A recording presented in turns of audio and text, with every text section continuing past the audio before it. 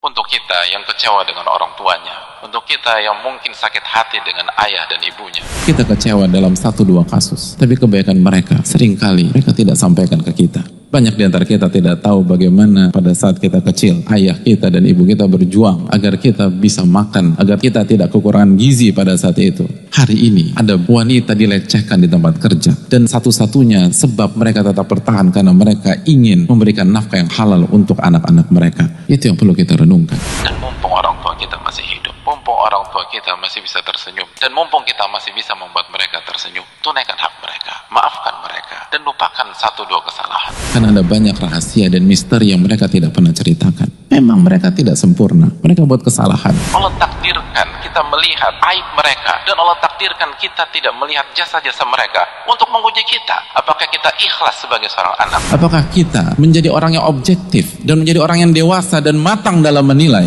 Atau kita hanya bisa fokus pada satu dua kesalahan dan lupa tentang kebaikan-kebaikan mereka?